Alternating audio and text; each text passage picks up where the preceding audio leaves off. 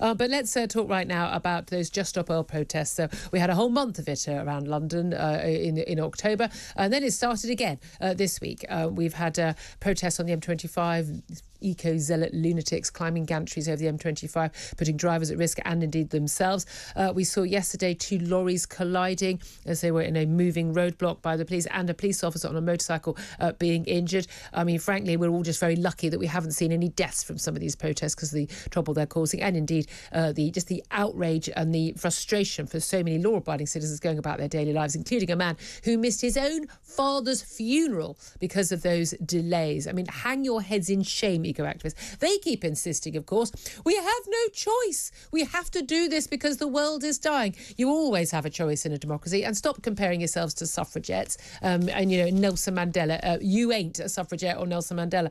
But um, from the paper today reporting, uh, the Home Secretary Suella Braverman speaking at a conference yesterday, telling the police uh, basically to stop humouring eco activists and to take control. She says their reluctance to tackle criminal disruption is now a problem. Uh, and uh, she said that members of the public are taking the law into their own hands because they've lost faith in the police. Well, let's talk about this with Dale Vince, who's founder of Ecotricity. Good morning to you. Yeah, morning, Julia. Thank you very much indeed for joining us, Dale. Um, uh, Suella Braverman's right, isn't she? The police need to take a hand on this. I think she's right that members of the public have lost faith in the government actually to deal with the climate crisis, and that's what you're seeing in the Just Stop Oil protests is taken to the streets. Um, I mean, the people are taking to the streets, but I mean, they don't have to take the streets. There are plenty of ways of legally protesting. I've been on a legal protest you know, against lockdown, um, but I didn't. I didn't go around stopping other people going about their daily business. Why? Why do eco activists justify what what what is? Because we see people are being convicted, people are being arrested um, of criminal activity. Well, you know, um, I think I hoped it was fairly obvious. We are facing a climate crisis. Uh, you know, I, I heard uh, heard you mention the injured policeman uh, collision of a couple of lorries. That's unfortunate, no doubt about it. It's not but unfortunate. Extreme, it's a direct result of what weather, happened.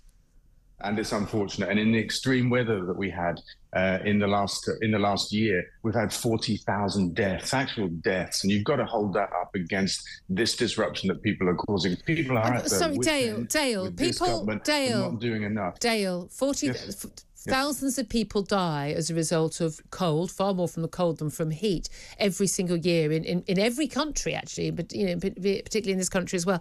Um, that's an issue. That's an issue of poverty and uh, and an issue of obviously very very elderly people who, frankly, unfortunately, are, are, are you know on, on borrowed time a lot of the time anyway. And I mean, obviously, we do some heat related deaths, but it's cold related deaths which are the biggest problem in in this country and around the world, not heat related deaths. When you say it's unfortunate, uh, uh this police officer could, you know, if he'd hit his head differently, we also we could have seen someone, um, you know, being dying. We could have seen something more than this. These people say they want to raise awareness. They're making a demand.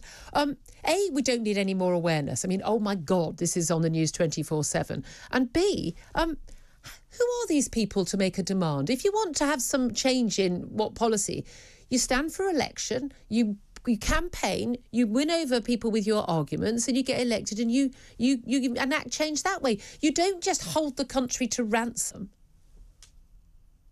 Okay. Well, look, first off, the deaths I'm talking about are from the climate crisis. They're not the deaths every year of people from the cold because they can't afford to heat their homes, which is another crisis that the government aren't handling properly. I hear what you're saying. But no, so you can't just skirt process, over. 40,000 people didn't die from climate crisis in this country this year. That is not true. That is Europe. not true. And across the world. It is across, across Europe and across the world. Across the world, forty thousand people. That's nothing. Of, it used to be millions. No, no. Right, we're going to have to leave that. Let's move aside from I'm that. I'm not finishing. It, across the world, it's hundreds of thousands, not forty thousand. The, the numbers are out there. If you listen to what's being said at COP27, this mm. is a mm. real crisis. Countries are being inundated with water. Whole countries are being unlivable. You know, we're, we're going to create millions of refugees from the climate crisis. This is a real problem. And yes, we don't lack awareness. I, I can no, hear okay. your argument. So, what who are these people action. to make demands? We lack action. We like action. yes, we? we? want. yes, I want action on lots of things, but I don't. I don't yeah. climb up a gantry on the M25 and stop people going to their father's funeral. When you say this is this is about this is about young people, entitled young, often young people, some old as well, who clearly no one's ever said no to. Just because you want something in a democracy doesn't mean you get to force it on other people. You have to persuade and campaign. That's how we do things in a civilized 21st century democracy. But I don't think that's a fair characterization of the people behind this protest. They use the word demand. No, I'm talking about uh, you call them young, young entitled people or people who've never been said no to. I don't think that's the correct Isn't it? characterization of the people What is the behind correct this protest. Absolutely not. They're from they're from all walks of life and, Are and all ages. Actually, they are. Yeah, they are. Why, why does he, regardless of their background, why does he give them the right to demand action? Because the world is in peril, right? And the things that are happening to the world, from the big oil and gas companies and the big food companies, they are driving destruction. The sixth great mass extinction of wildlife in, in our world and a climate crisis that will make the planet unlivable. And all of this is Can I can I just say can I What do say we I? I get told I get I get told off all the time about this.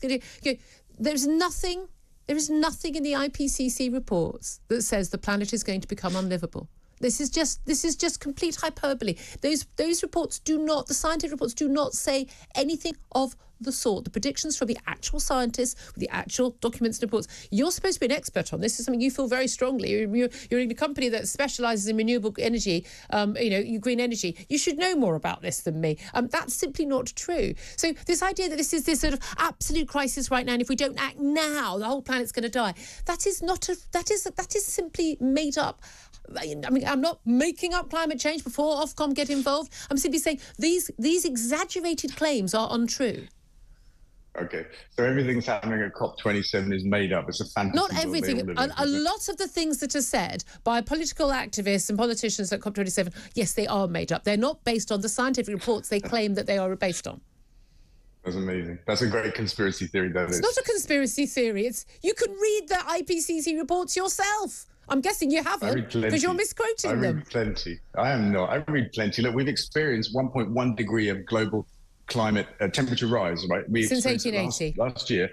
Since No, no. 1880. Uh, well, so, yeah, since the start of the Industrial Revolution, we've experienced 1.1 degree, where it was floods, wildfires, droughts, hundreds of thousands of deaths globally. No, no, no, no, no. Deaths, deaths, course. We're on deaths from deaths from climate disasters have gone down by please. 95% in the last 100 years. No, no, no. No, they have. That's an official 2.5 stat. degrees. There's no, there's just no point. Dale, point- we have to leave it there. Dale, we'll have to leave it there.